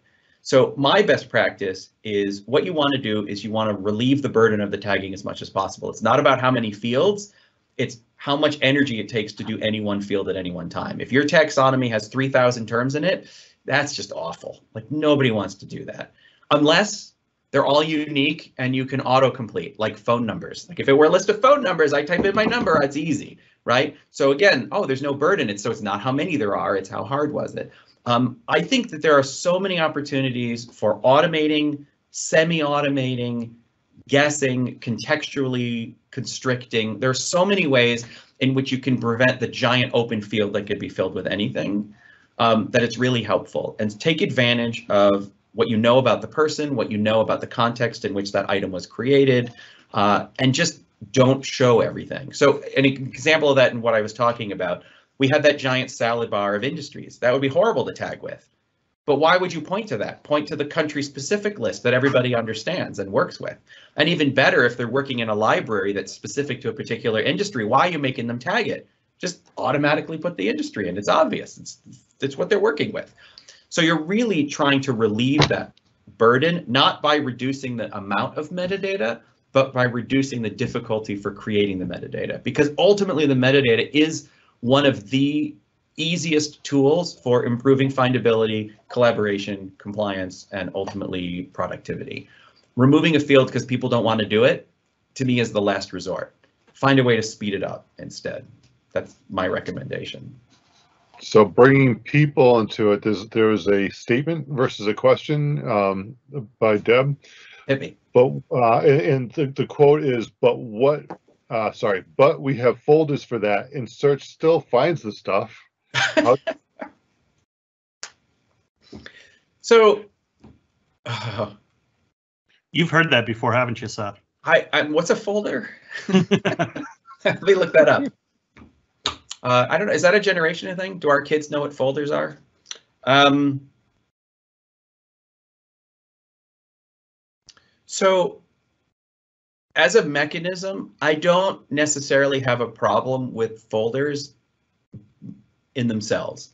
Um, the challenge you run into is are people compliant with the folders? So are the folders well named? Are they exposed only when they're useful? Uh, do they automatically? I mean, I whether it's a folder or a library or some other type of container like a document set, right? All of those things are useful ways of potentially applying metadata to the other things, right? That's what we're after. And I just said a minute ago, anything that can speed up the metadata process is worth it.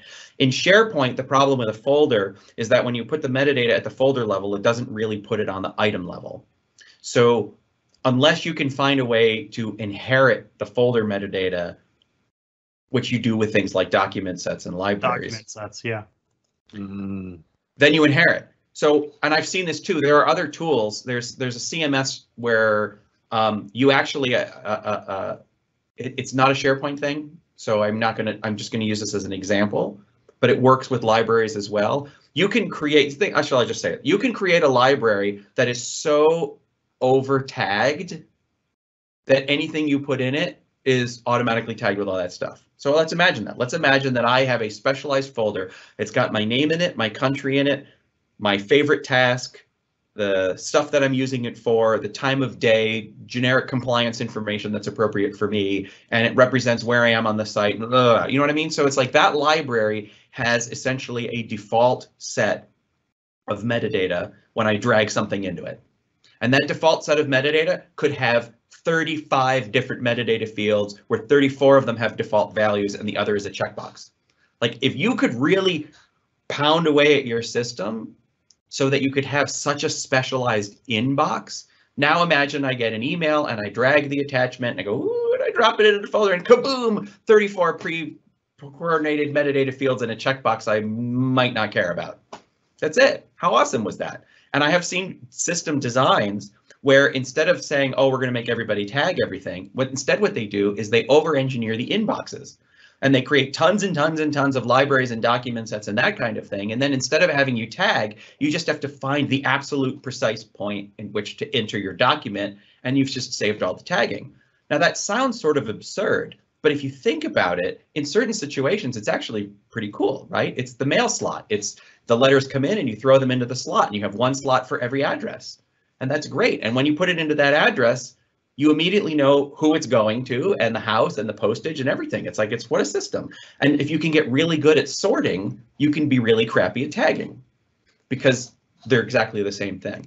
You so I don't have a problem with folders except that folders don't maintain the metadata, but folder equivalents I'm okay with. Um, and then search leverages all of that metadata. So for me, just like you create lots and lots of inboxes, a really good search allows you to generate or dynamically do lots and lots of outboxes through filters, through buttons, through you know specific searches. There's all sorts of different ways in which you can be looking to a search or a library view that's dynamic, uh, any type of dynamic that's leveraging the values of your on your content types, the metadata that's there across content types and, and, and so forth. To me, metadata is ultimately what makes it stick. I think the whole idea that search will find it anyway is really a question of how is it finding it. If the metadata is there and search is what everybody uses, then yeah, I don't care where you store it, store it, whatever. If search is really effective because everything is tagged, then I don't necessarily care about how it's organized. All right, because that's how search works. But usually in an organization, you've got to find that balance as well. Mm. Hey, Mike, do we have time for one more question? You bet. Nobody's Awesome. kicking us out. That's, that is The very pizza's true. cold, man. The There are no janitors cold. wandering around making us feel guilty. No, nothing. It's great. no construction in the next room. Yeah. So the, so the question for you, Seth, is folksonomy, taxonomy, uh, or hybrid, what is the best solution for organizations? Or I know it depends uh, on the organization as well, eh, but it, it's something to be said about a folksonomy being able to be utilized to capture information to feed the taxonomy uh, by the hybrid approach. But how do you see see it? Where's the value, and where where can it go awry? Well, they can both go awry. Um, it it's another one of those tensions between centralized control and, you know, uh, a federated. In this case, it's really like a populist approach, right? So if everybody can pick whatever tags that they want and they can jump on whichever bandwagons they want, then folksonomy does the trick, and you don't need any centralized control. People can figure it out. I, it, if I say it comes down to use cases, what I'm really trying to say is that it comes down to does the current system meet whatever your business needs might be. I think folksonomy works really well when you're doing something emergent. You can seed it as well. You could, before you ever launch it, drop the equivalent of a taxonomy into your folksonomy. So the terms are already there, all ready to autocomplete for the first person in.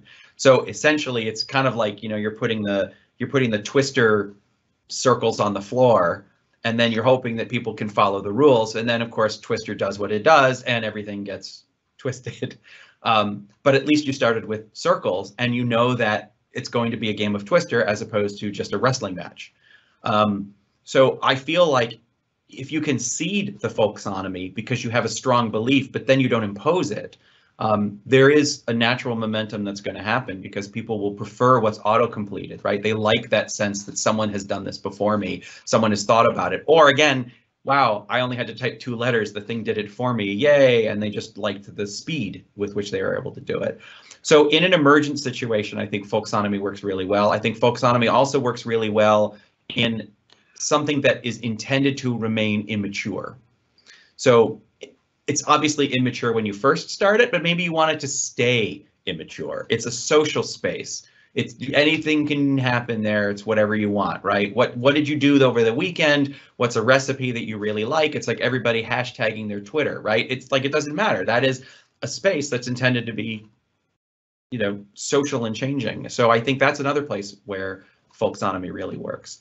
The one place where otherwise I'd say taxonomy because it's going to meet your business needs because it's going to get things done. The one place where you're kind of stuck in between where people want to make changes but can't because gosh darn taxonomy's in my way. The way you solve that problem is through having available receptive taxonomists, stewards, administrators, someone who will listen and say, oh, that's a good thing. I'm going to add it into the taxonomy. They shove it into the taxonomy almost right away. It's immediately available. They let you know and it works. And that would be the best thing. Managing that can be tricky. You don't, if you take what everybody says and then two days later, oh, you know what, I changed my mind. Can you rename it? Is a pain in the neck. But again, if it's only for them, what's the harm? As soon as other people start using these terms, they must slow down that I can't change a term that eight other people or eight other teams or eight other countries are using because I am going to mess up all of their, you know, I was going to say folders, their library structures, um, because their their views are dependent on the metadata that you're about to mess up for them. So that would be the place where, again, you think of it, it goes back to the presentation of the the center of the Venn diagram. Um, if few people are using it, you want it to be as wide open as it can be. And as more and more people start using it, you're going to wish you had greater control. And in a single vocabulary, there could even be pockets where you want to control some of it and not others. Maybe the parent categories, maybe the industry standard categories, maybe the categories that have been there longest. Um, and trying to balance that, I think, usually comes down to having a taxonomist that can find a way to maintain the relationships with the consumers, the people who are using the terms, or the people who are using the the IA, whatever form it's in. Uh, and I think it's the same logic for page design, right? If I'm in charge of designing your pages, I can make changes as frequently as I want. I just have to know who I'm disrupting. Uh, so I think that's that's how it is. I love the idea of folksonomy if it's done well, it will evolve into a taxonomy because it did such a good job. As long as the folksonomy continues to fail, it will live as a folksonomy. Um, it's as it starts to mature, I think it, it, it, hardens in a way and becomes taxonomy, and that's where I become uh, more in favor of that. Terrific. Uh, no more questions. Mike, do you have any other questions? Dimitri? I've got nothing. He answered all my questions. Yeah, I think I, Seth, I think this was great. Thank you. It was definitely phenomenal. Um, it's something that I think everyone in the SharePoint and Office 365 space struggles, especially the ones who are admins of it. Um, it's it's a battle that's constant. One thing that comes to mind: where do you see the best fit as far as acceptance? does it come from top down or is it more a grassroots and going from bottom up? I've seen it work both ways, but always with tension. I think the least tense approach is one where that's somehow more collaborative. Uh, I've been in a couple of situations where the collaboration mechanics are created first, meaning before I mess around with this taxonomy, I'd like to know who's interested in this taxonomy. I did this one exercise in a, in a, in a room once that I really liked as we were building essentially their content models. So they were building a customer 360, which was kind of fun because we were in a room that was like literally circular. So we it was literally the customer 360. So we would have a big sheet of paper about contact information and a big sheet of paper about their interests and a big sheet of paper about the products that they subscribe to. And the idea was if you could know everything about a customer, it would be on one of these sheets of paper and they were organized in a way that made sense contact information product subscriptions interests mailing lists security concerns Um, and before we left the room, now I'm keep in mind, none of this was built, right? This was all being dreamed up. Before we left the room, we had enough representatives from across the organization. We gave them all a Sharpie and we said, look, before you leave the room, if you are interested in anything on any of these pieces of paper, you need to write your name on it right now. And if you don't write your name on the piece of, and if you write your name on the piece of paper, we will call you, you will be recruited, you will be a stakeholder. When this gets built and as it gets changed, you will be contacted. And you might find that to be really, really annoying because you are volunteering to be a part of our team. So if you don't want to be part of the team, don't put your name down and save yourself a lot of trouble. But let's be clear, if you don't put your name on that piece of paper, you will never hear about it until after it's done. And then you will have to deal with the change. So if you don't deal with product subscriptions, don't put your name on that. Don't go to any of the meetings and don't worry about changes because it has nothing to do with your life. And this was a way of really trying to identify who is genuinely a stakeholder for each one of these aspects. What was great about this exercise and exercise like it is that we had the team built before we had the architecture itself built, before the IA. So we didn't go out and figure out how to manage subscriptions first. We figured out who is interested in how subscriptions are managed, and we started with that. And then you would have a governance meeting. Okay, on the first of next month, we're going to have a governance meeting of the product management taxonomy team. And maybe only three people wrote their name on because it's a small thing and nobody cares. That's fine. Meeting started with those three people. How do you want to begin? I already have a list. That's great. Let's just do that. That was it. Done. But what happened is you balanced, going back to the question, you balanced the global need with the local need, the grassroots, all at the same time. By bringing everybody in a room, we said globally we're going to do this. And then by bringing just those three people in the room, we said grassroots, we're going to build it. And in the end, you had that balance. And now everything had to go through those that small team. And as the taxonomy became more adopted or more complicated, as people came and went, they had to be part of the team, right? It's the user group. And so we found that this user group approach um, made it more democratic. So in the end, the architecture enforced it, but the people were, you know, at the populist level. Um, and that model tends to have the least amount of tension, feels the most collaborative and the most social uh, in terms of building something new. If you're fixing something that already exists, that's different. And I think it's just, what are you fixing? Um, but I love the idea of starting new by finding the people first. So here my whole presentation is like IA versus people. And it turns out here I am ending it by saying, you know what, start with the people. And so that would be my recommendation. Awesome. Terrific. Thank you very much, Seth. Uh, I really appreciate um, you taking your time to to uh, presenting. It was absolutely awesome. Thank you. Thank you very much. Uh, Mike, do you want to uh, throw the slides back up for um, the, the finalization of uh, to, today's broadcast? Sure. Awesome. One second. One. Ah, Yeah, ah, as, ah. as Mike pulls up these slides, um, I think we, we could still have a virtual raffle in using the Q and A to accept answers. Sure. That's a good idea. All right, Mr. Seth, do you have any ideas for questions for that? You can start thinking about that while we go over uh, community stuff. What am I what am I thinking about? A raffle? Yes. What am I what am I missing? So, so basically, just um, questions from from your um, presentation. When Oh, I you see. come up with uh, when you when you uh, just come up with something, you know, three like what two three questions, guys.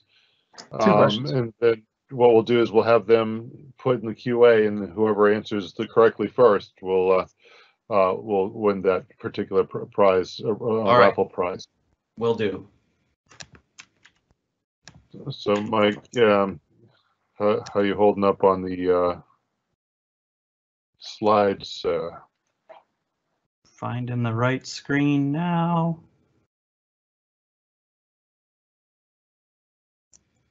Oh, wow. That's a lot of stuff I have open. yeah, the side effect of working. right? Mike, I have it handy if you want me to share. I got it. Got it.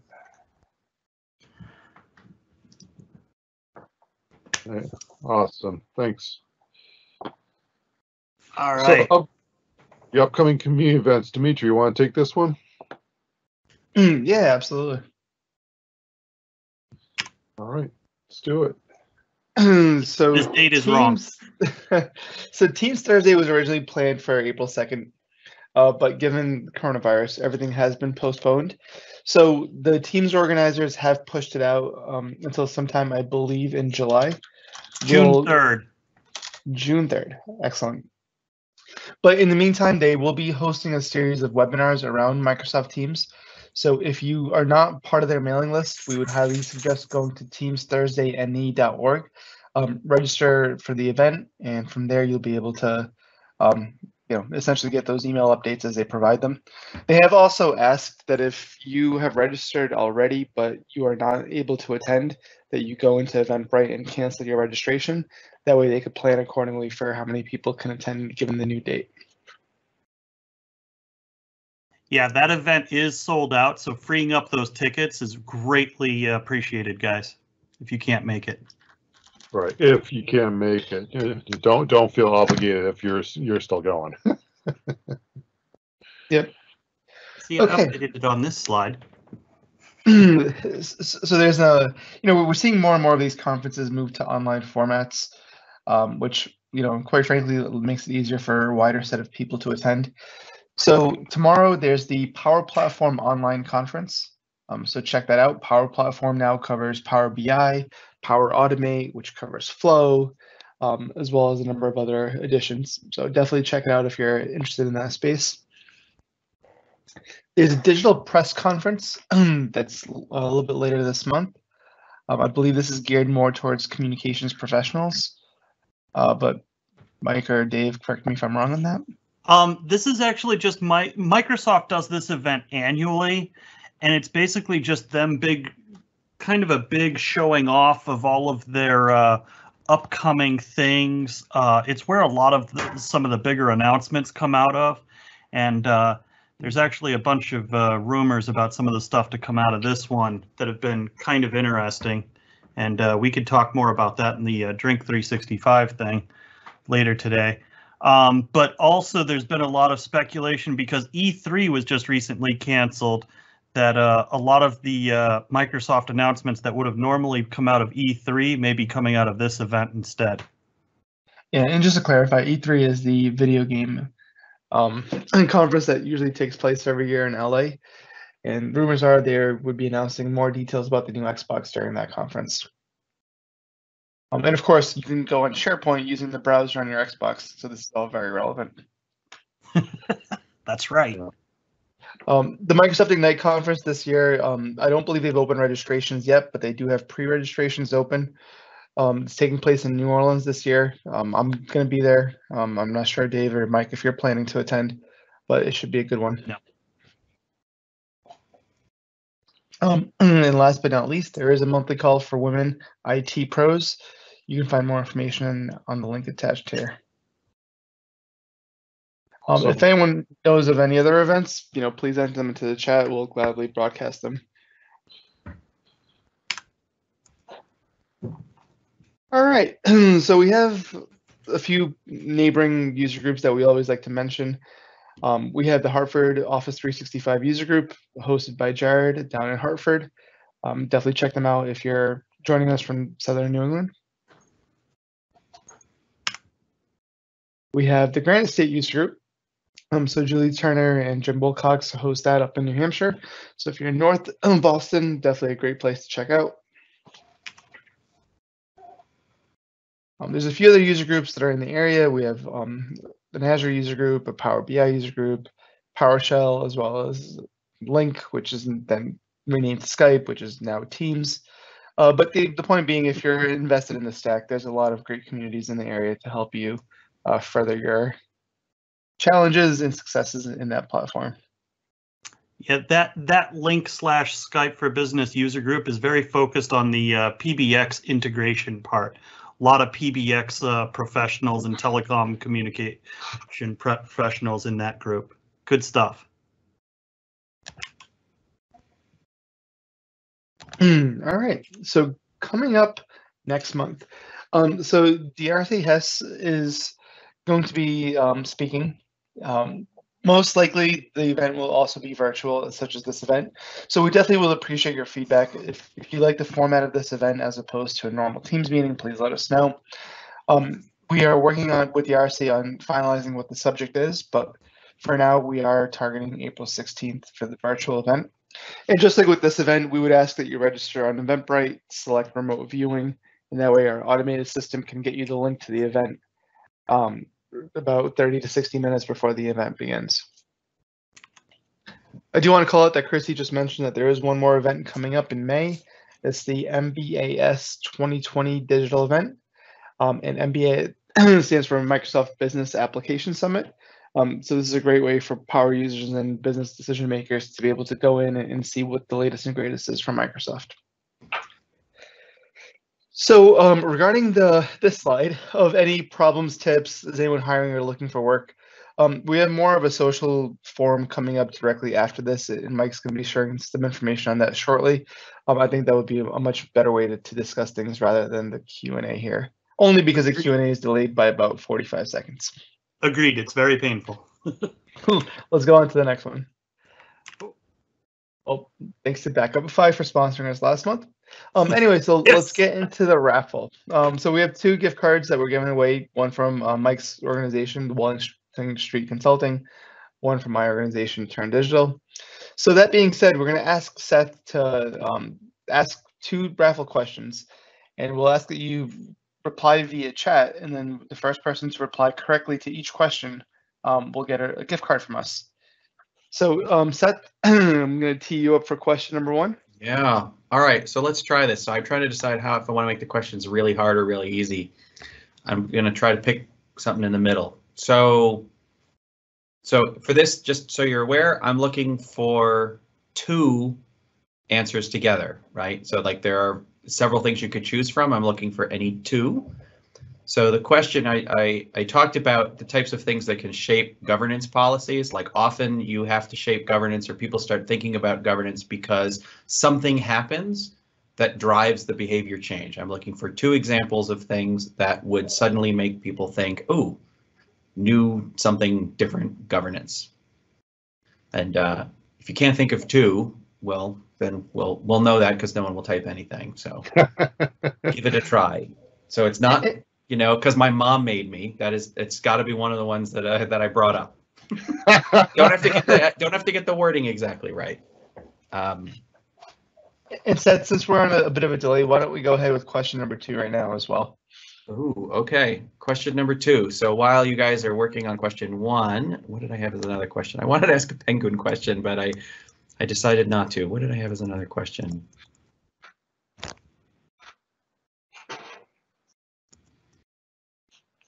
Uh, same kind of thing. I'm looking for two answers. There are a lot to choose from. I'm looking for someone who can give me two.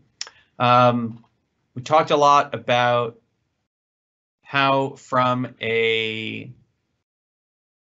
governance perspective, it might be nice to, uh, hang on, hang on, sorry, I have to word this as a question, right? It's like Jeopardy. So give me two examples of where different local organizations or different stakeholders within the organization are likely to disagree that have to be managed or reconciled. Oh, that's a good one. All right.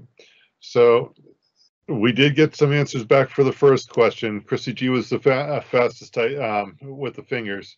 Uh, she has conflicting topics and definitions.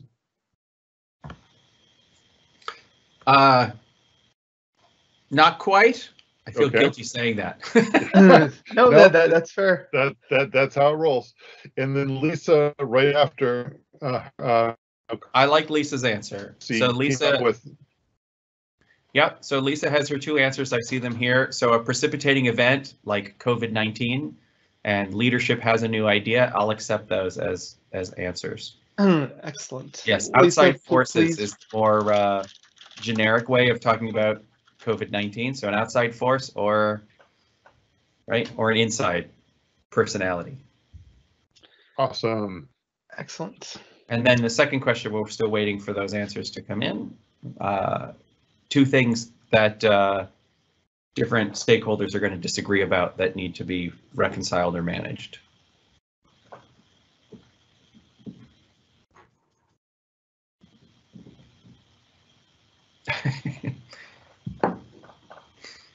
I realize I might not have gotten in my light bulb joke, but I, now that I'm bringing it up, it's sort of weird. I have a light bulb joke.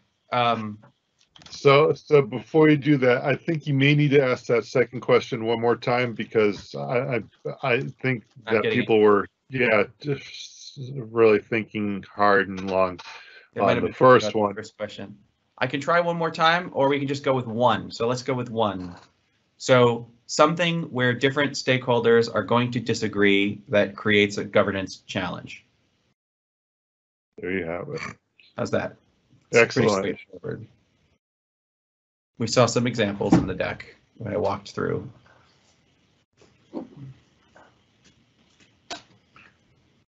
So I was trying to think of a light bulb joke for taxonomists. You know, how many light, how many taxonomists does it take to screw in a light bulb? And I think the standard answer to that is it depends.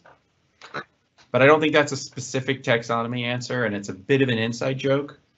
Um, so I was thinking, how many, how many light, how many taxonomists to screw in a light bulb? And I'd say, well, it depends. Does screwing it in change its definition?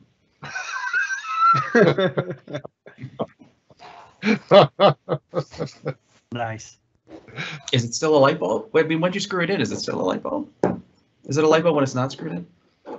Remember, I used I used the example when we last presented about you know people talk about the light being on or off, or the circuit being open or closed, Yeah, the and switch. up and down, right? And it's just, yeah. Yeah. That was really cool.